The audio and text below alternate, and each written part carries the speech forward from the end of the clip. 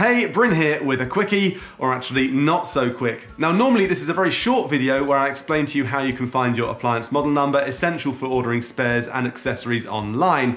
Now on most appliances this can easily be found, but this is a fitted hob, many of which can be found in homes around the UK, and not an appliance model number can be found in sight.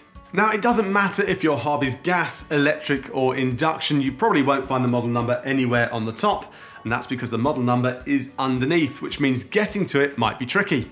How you access it will depend on your specific kitchen layout. Now if you have a setup like this where the hob sits on top of a cupboard, or in this case a drawer, you can simply remove it and have a look.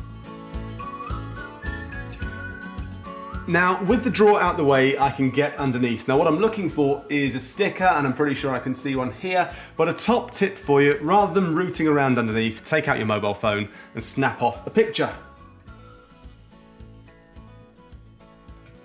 Bingo. So what are the alternatives if your hob isn't above a drawer or a cupboard?